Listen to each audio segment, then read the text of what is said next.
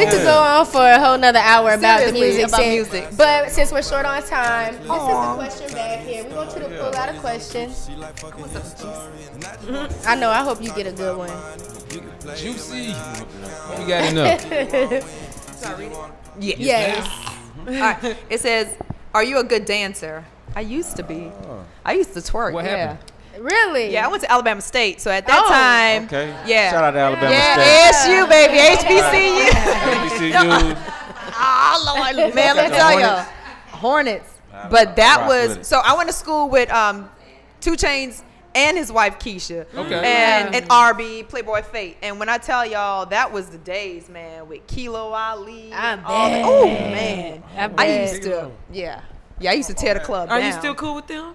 Um, I'm cool with his wife. I have not talked to Tity Boi and with Tahid and I don't know how long. I'm just so proud of him. Um, RB, yes. I'm really cool with RB. Uh, well, Playboy Fate. um, but yeah, it's super dope. So we all came from Alabama State. It was the same time. That's where you learn your dance skills at. Well, you know, it was New Orleans bounce music. Okay. you know. Right. Right. She. Them It was, it's in her Louisiana blood.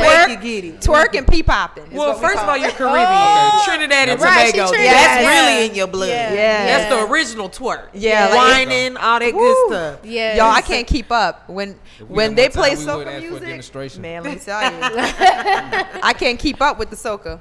Like seriously, they go from like morning to night, and I'm like, Sweating. Dude, I'm like 40 minutes in, and I'm done. My legs are burning. My knees yeah. creaking. yeah, and I work out, but they keep going. I'm like, nah, I'm good. All right, let's Yeah. pull one more question. This is good. Okay, Hmm, that was kind of boring though. Okay. Would you rather see into the future or change something from your past? Mm. Staying on topic, I would say I would not change anything from my past. The only thing I would probably move or manipulate a little bit would just be the time frame that I dealt with certain things, including my ex-husband. Um, but I wouldn't change it because it molded me into the woman that I am today. And so I feel like I'm so far ahead than most women that were my age. You know, I feel like I've had a lot more lessons and life experiences and and I move at a faster pace just because of my experiences Right. at a younger Like that. age. So that future part, I would definitely love at this moment to see into the future because y'all, it's hard sometimes being a It's hard for female a pimp. entertainer. Yeah, it's real hard for a pimp. And yeah, and I said, sprinkle me. Right. Yeah, it's hard. I want to see into the future just to make sure I'm on the right path because Yeah. I question it a lot and I shouldn't, but it's hard. Yeah. It's hard. How about the audience? Just gotta audience, If y'all had the choice, mm-hmm. would you rather see into the future or change something from the past? Let's get one person. I'll say uh, maybe the future it will help, but as far I, I'm in the same boat as you, I won't change the past. Because I think it makes you who you are, are, yeah. and then it can just like give you like a little book, like if you want to go back and like be like oh this is a bad person, it's a bad experience. Oh let me just you know that's for me. I'll I'll stick to what it is. All right. We Thank got a you. beautiful thank you, audience thank though. you. Jeez, them queens All over right, there. y'all. Don't we, So don't? we are going to move on to the loft letter. So just so you know, the loft letter is usually an anonymous letter that we get um, in our DMs or in an email uh, about somebody that really needs some help, needs our advice. I have Oh. not read it yet, so I have no idea what it's about. Okay. Here we go. Dear Loft P, I'm a 28 year old uh, recent graduate living in Houston, Texas. I've been heavily involved with my girlfriend for about two years, and we recently moved in together four months ago. She's an elementary school teacher and makes decent money. She does complain from time to time about student loans being a burden on her, and I explained I will be able to help in about six months into my new position as a pharmacist.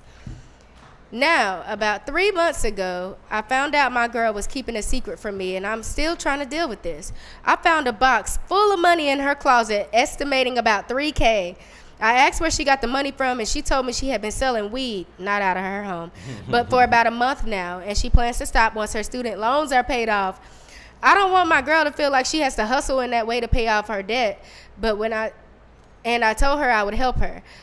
But I feel like she went behind my back, and I'm struggling with her decision to continue on this way. I don't want to lose her, but I also don't like being in the dark about this kind of stuff. What do I do? Ooh.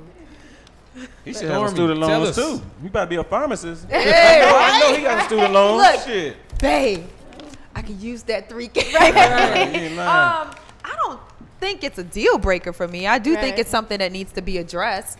Um, and if anything, going back to the stigma, right? Like, she's hustling that way. I mean, Which almost I mean, legal. depending on what trap- state, trap- you know, Come she, on well, now, yeah, it's you better know what than I'm what saying? she depending on what be doing. state, right? Exactly. She could be doing something else, but I really feel like that's the conversation that both of them could could have and make a rational decision to move their relationship forward. I don't think it's anything that will like be a deal breaker, but I get it. If my man tells me within six months, I'm gonna at least give him an opportunity to show me. I know she probably felt because you know we're very headstrong and Right. look, I'm gonna get this anyway. He'll be proud of me because I'll be mm. able to help and contribute. But we gotta let the man be a man, and that's what I've learned over the last couple years. Was I gotta stop saying no, I got it, or no, don't worry about it, Right. because from what I gather, men appreciate the feeling of okay, I'm needed by Right. him. You know what I'm saying? So if y'all are offering, I gotta do better as a woman. Just say, kick it back. It's not on my timing. It's not how I want to do it. But let the man take control. Yes. So, audience, what do you all think? I'll go again. But for me, I see it as a two-way street. For me, I feel like she's too she's independent, and then she doesn't want to like um, rely on him for anything. Because think about it, somebody tell you in six months things might actually change again. In Right. months. Right. and then maybe they're not married. I think right. They're not married. Yeah, because they, And, when they you want to know, come garnish your You wages, right, girl. I They're not personally would not do that. I would still hustle because I like Right. to do it. I will still do it. Facts. If you have the mo- you have the money to give me, give me cash today. I take it today. So, you will hustle and sell the weed? I mean, I wouldn't sell weed particularly because I don't want like children. but she show, like I don't want children to think like that's all the thing you have to do. But Okay. it's good to actually have your own money. It's im- important because you see, like I have friends that I know that are going through stuff like that, and you you don't have nothing to like. See, like I have money on the You're side right. to keep going. You're So right. you don't want to fall back on, but you just want to keep Yeah. going. So Right. I don't have a solution to it. I just feel like he a square if they live together and he didn't know she's been trapping. You know, like he said they she he found a box full of money. What you and digging? she said, "Yeah, like, bro, you Unless good- they you do square, live together, If that makes sense. If you ain't sense, yeah. seen that, How how, did you not trapping like know? that? Yeah. like she been doing that. Right. Yeah. Probably before she met him. Well, three thousand dollars. She ain't been doing it long. Oh, it was just three thousand, but But you know, weed is not a big money maker in the It drug ain't? game. Tell us it more. ain't. She working on it though.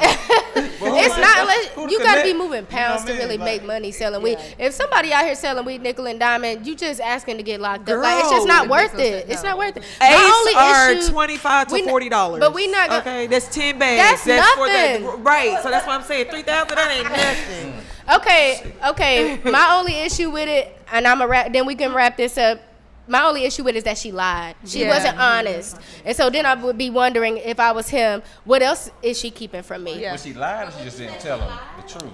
Right. She did it. Omitting the truth and lying is in the same damn boat.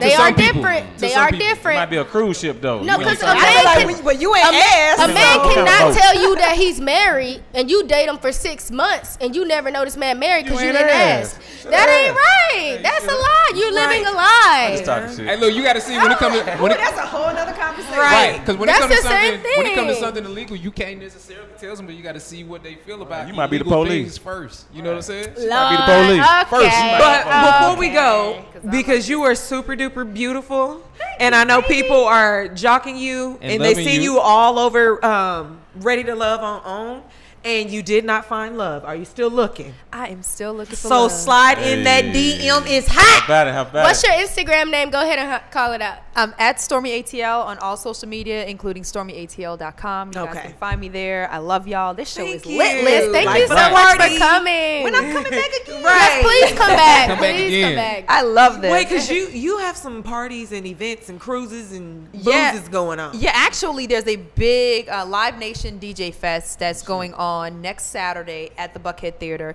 You have people like um, DJ Cash that's on 1079. You've got DJ Infamous, which is Yes. Luda's DJ. Right, right. You've got Teflon. You've um, you've got Ace, which is uh, Jeezy's DJ. You got myself. You Oh, got we got DJ you. Mars, who has Oh my God. Keri Hilson. How did Monty know B just got an So, invite. so Law PTV will be in your entourage. Matter of fact, I got one, two, three, four right now.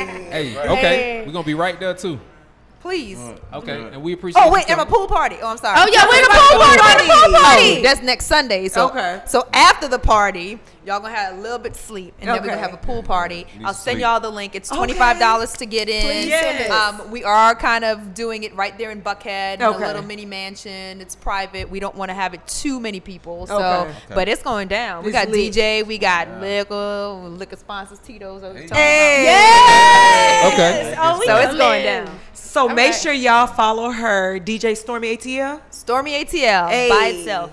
Okay. And we Thank appreciate y'all. you for coming, even though you did not drink with us today. No, the That's pleasure all right. is mine. Y'all, I've been working out hard. I've been traveling for the last two months. Literally, on Monday, no Tuesday, it was the first time I unpacked both of my suitcases. I know you had to do Essence. I know you nice. had yeah, to shut it down. Yeah, I was in Essence and I worked every single night, Wednesday to Sunday. Awesome. Like literally, it was no yes blessings, No. blessings. Trying to do do 'em it for the coming. Keep Keep 'em coming. Keep 'em coming. So we'll be That's catching you right. at your next event and everything else you have going on. Keep us Thank updated. y'all so much. Yes. Man, Black girl this magic. toast, even though Yes, we want to cheers to you, We hot go mama. one, two, three. We go Law P. One, two, three. Yo. Love P. Yo.